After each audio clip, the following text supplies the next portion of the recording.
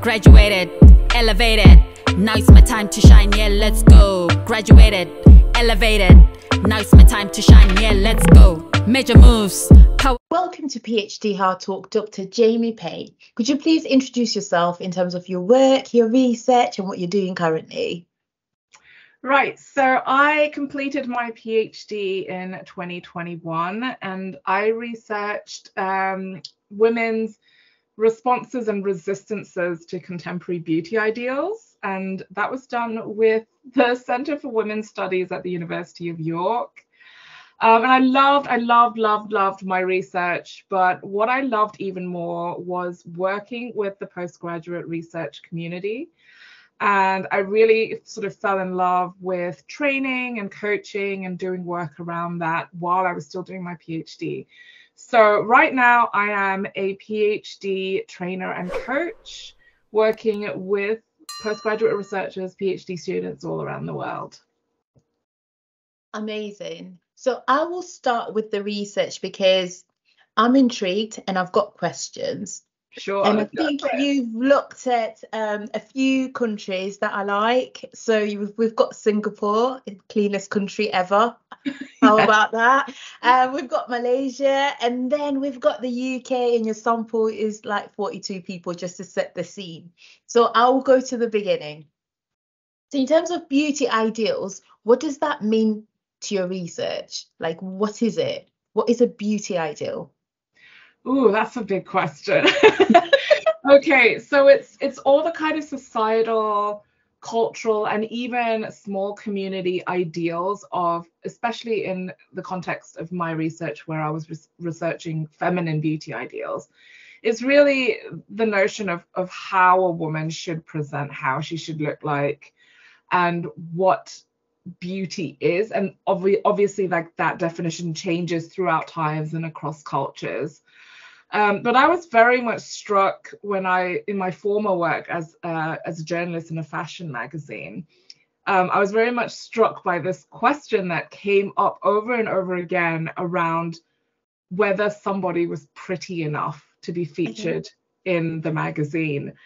Um, and it, that was that was really a very big part of me deciding to go back into academia and to do this research to kind of interrogate interrogate and look a little more deeply at what it is that forms our our our, ideals and ideas around beauty.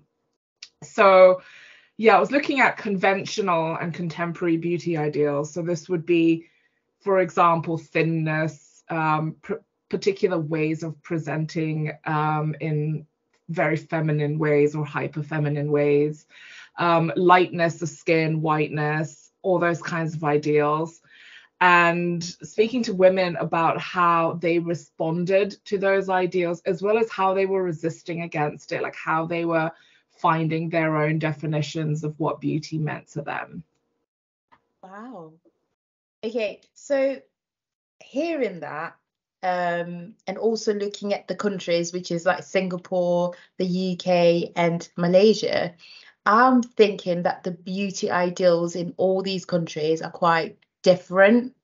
So why choose like like different? They're quite different in terms of yeah. culture as well. Like they're quite diverse. What, what what was the thought process there?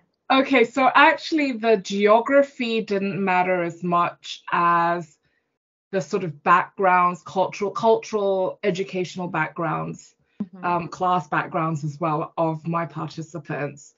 So part of, of deciding who I wanted to speak to um, involved thinking about how women create these ideas around beauty and, and their relationship to beauty within their own social and friend networks.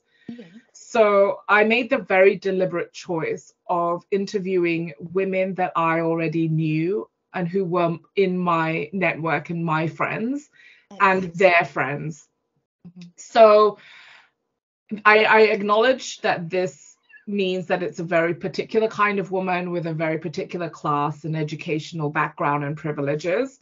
Um, and that was sort of an intention of mine actually it was it was deliberate i wanted to look at how um, these women who had quite cosmopolitan backgrounds so i I grew up in um, in Malaysia, but I went to international schools, and then I came over to the UK and had quite a diverse group of friends here as well, from all over all over the world.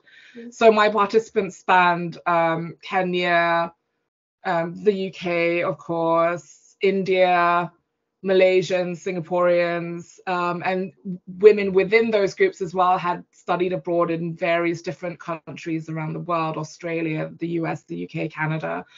Um, so it was really about tapping into how women of that particular sort of background and cosmopolitan class um, responded to beauty ideals and how they were kind of making their own way.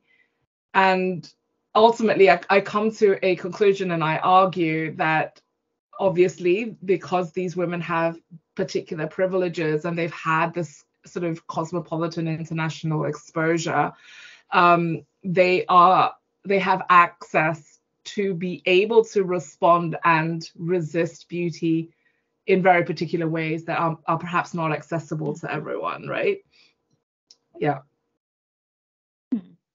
And then, and then I'm thinking, okay, so if you're able to move from one country to another, you are right in terms of class system. Um, you're definitely on a different um, level to somebody who be native and they've never moved and they've just stayed at home, essentially. So they're exposed to different cultures and different ideas of, of, of beauty. So in your study then, um, did they conform to the ways of um, the US, for example, if they move from Malaysia to the US, or were they quite like, no, I'm going to stick to the Malaysian ways of, of you know, of my beauty, and this is the way forward. What did you get from from that research? Uh, okay, so this is so interesting and again it was it was very much less about sort of which cultures and which specific beauty ideals they were adhering to. And instead it became more about my participants saying i reject these beauty ideals. I reject femininity.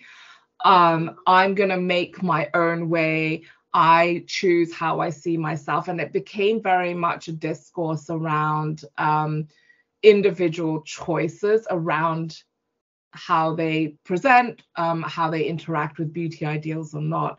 So actually, ultimately, my my discussion became less about beauty in itself and more around this kind of contemporary, like neoliberal and post-feminist um, way of thinking and living in the world. And what I mean by that is that it becomes very much less about adhering to these social and cultural ideals and more about, well, I'm just going to forge my own way in the world.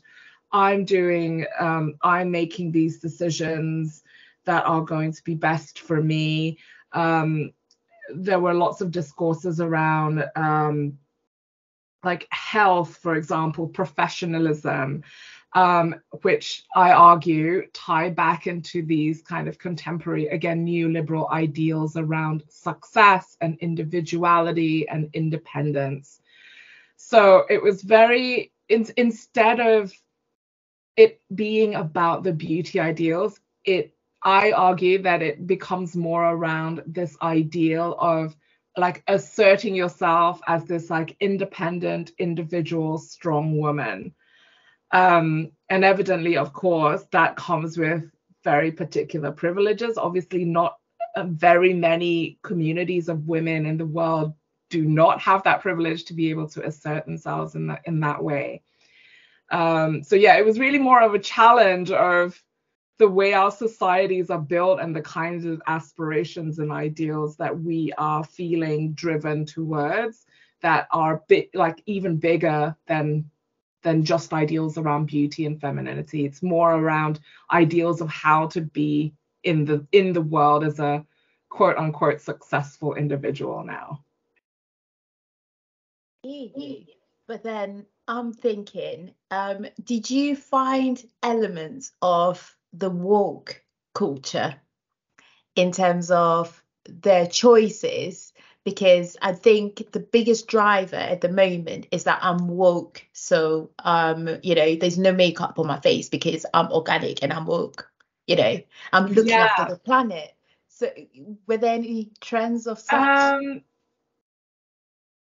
I didn't discuss wokeness specifically, but I can see that it, it is very much more around, um, you know, it's perhaps not so much wokeness as a as an attempt to sort of rally against like what were what were deemed as like older and outdated um, conventions for for women and for how they look as well as how they present and act in the world. I get is is that wokeness? I guess yeah, like maybe more about you know how you're creating your own place in the world and not letting like these larger authoritarian like powers that be define who you are. Whether that that power is like a larger conglomerate like the media or whether it's just within your own like ethnic community for example. Yeah. I still think it's being woke. yeah oh, well yeah that's great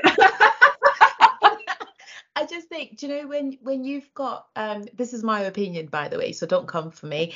Um, I think when you are comfortable, as you've stated, you have choice and you can make decisions, um, and then you can run with it. And by running with it, you influence people around you. So that's why I'm quite interested to to to understand in terms of their journey. How did they get here? And um, to which you've you've answered pretty much. But then now I'm thinking in terms of your research gap. Then, how did you get to a point whereby you knew that this was a you know an issue that needed researching? Um, I know you were a journalist and you've seen some things and you've you you know identified certain weaknesses and strengths in terms of um, the market, I'll call it, or industry. So how did you get to that point? Yeah, so my I mean my research took a lot of uh, a lot of turns. So what I started off proposing is very different from what I actually ended up with in the end. Obviously, I think this happens for a lot of us. Like what comes up in our data, what our participants say, brings up things that we possibly didn't anticipate in the beginning. Um, so what I had identified through through the literature that I was reading, um, and uh, I mean there was a lot of work being done. There's a lot around the sociology of beauty and lots of lots of work being done around cultures of beauty. I mean this is all the way back from like the the 70s or even beyond before that, right? Like people talk about beauty and bodies so much in academia. Um, so yeah, I mean, actually finding a gap in, in in a field as big as that does kind of feel a little bit daunting. Like, oh, you know, of course there are all those moments of like, well, I'm not saying anything original, and like, what am I saying that hasn't already been said before? Um, but as I worked through the research, I was recognizing that there were discussions around beauty, there were discussions around resistances, around um, more sort of general resistances as feminist kind of resistance. Um, there was also some discussion around class and beauty, but it was mostly most of the kind of prominent texts were around like lower or a, a particular kind of British middle class. Um, and I wanted my gap, I guess, was trying to bring all of that together, like resistances by this particular class of women and how those um, resistances were being played out right now in this in this class of women. No, I get that. I think um, there were some words that you used like resistance, um, and also in terms of beauty standards and beauty ideals. Now I'm looking at the group that you've looked at, which is your friends, and they're well travelled and well seasoned in, in that way in terms of culture. So I'm just thinking in, in regards to them, um, what are their beauty standards? It's okay to say I'm not wearing makeup, that's my standard, but you know, what do they perceive beauty as? Because to me, um, you know, looking my Sunday best sharp, you know, together. Yeah. It's it's like contoured from top to bottom is like Yeah. my best. So, you know, in, in in in their words, what was their standard and and why were they resisting so much what what got them to to, to feel like you know what i need to resist this Yeah, that's such a good question. Um, yeah, and and again, this this is sort of this contrasts with existing work around like class and beauty. So uh, there was a lot of work that I was reading around, for example, um, I think it was Beverley Skeggs. Was it Beverley Skeggs? I can't remember who specifically it was. And Angela Rob- McRobbie, people like that. We're looking at like lower how lower class women were using beauty ideals as a way of uh, expressing social up upward social mobility. So women would, for example, like um, get plastic surgery, they would make themselves up, and that was aspirational for them. That was them like putting themselves forward and trying to move socially move upwards.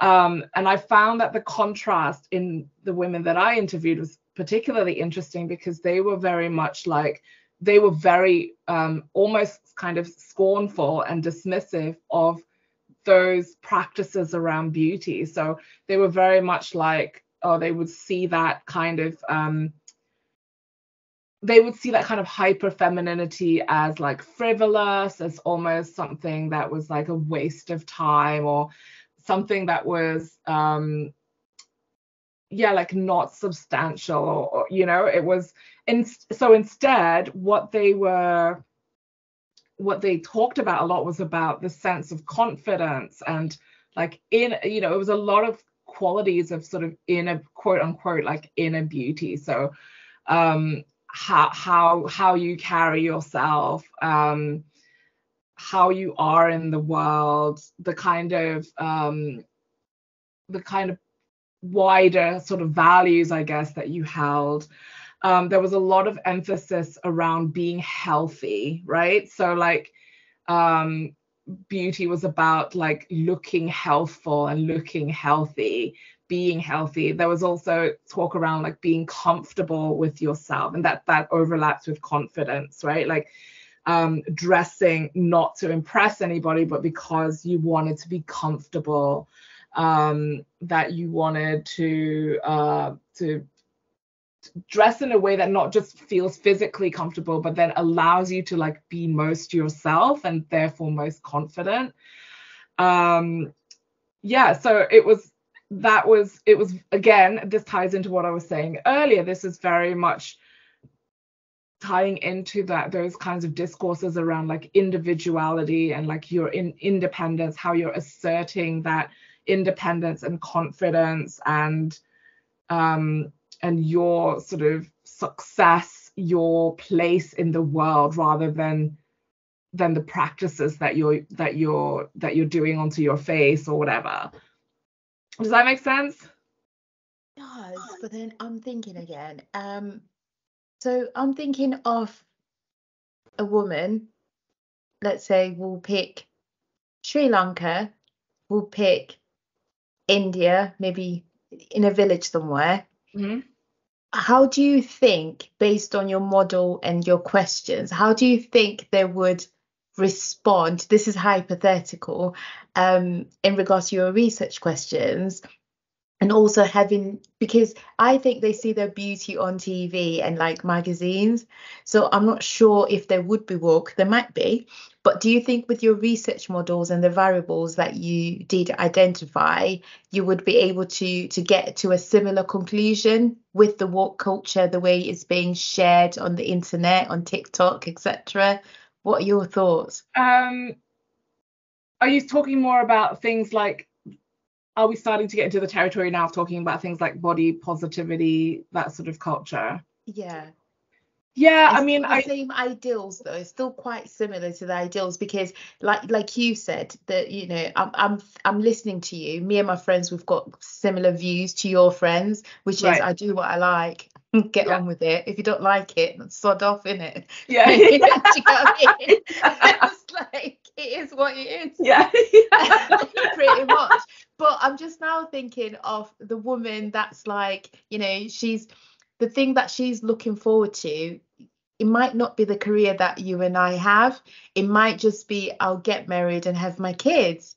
And she's looking forward to getting dolled up on her wedding day.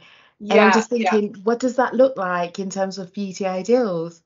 Yeah, I mean, I think it's I, I mean, this is what I was finding in my data and in the, the, comments and responses from my participants. Doesn't necessarily mean that I agree with that. I, you know, again, like I go back to that thing that, you know, being able to make those assertions mm-hmm. and even what we're saying right now, where like, if somebody doesn't like it, you can sod off. Like that's actually that that does come with certain privileges, right? That we're able to say that.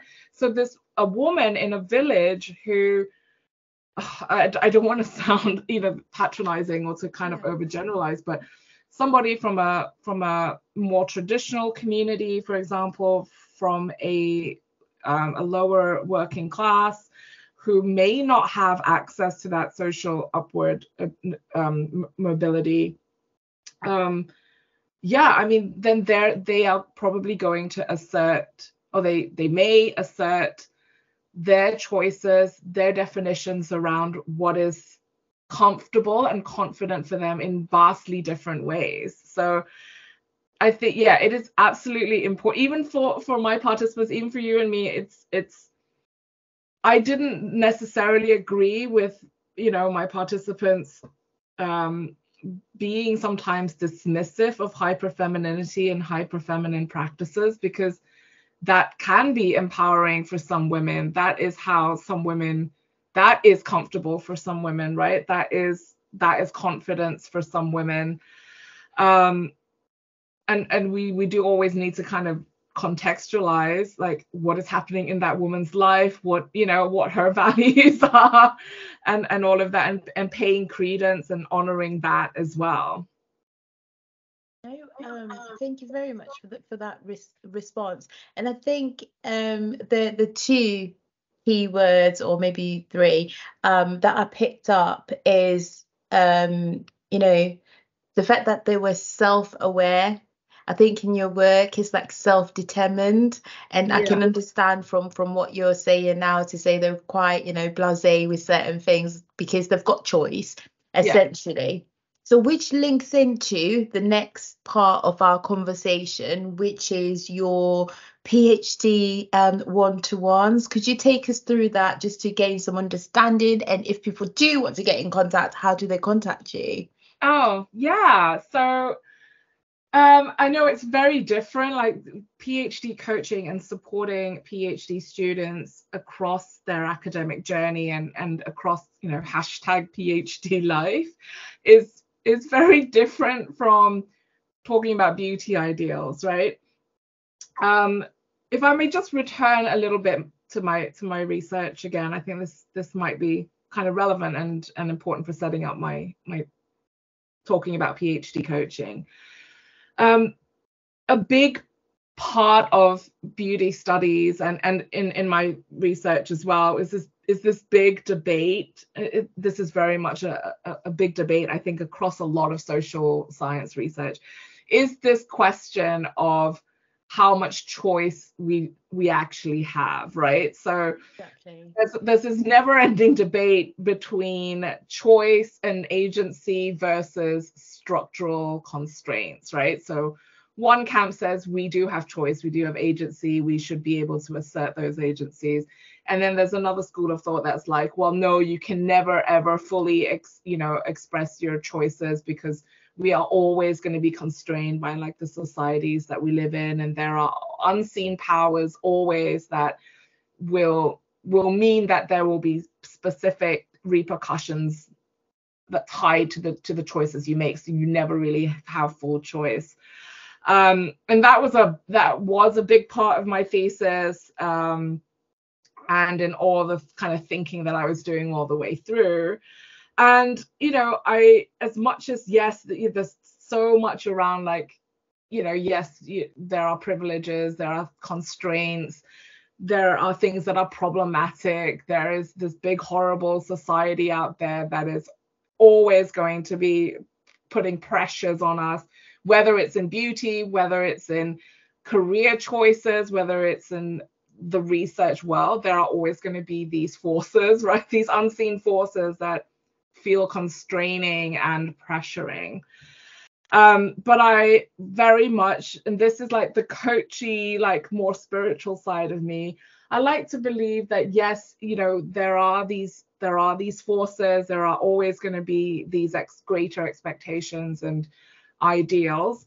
Um, but we have two choices. Like we can either sit there and complain about how problematic everything is forever and be miserable, or we can start to acknowledge that those ch- those pressures are never going to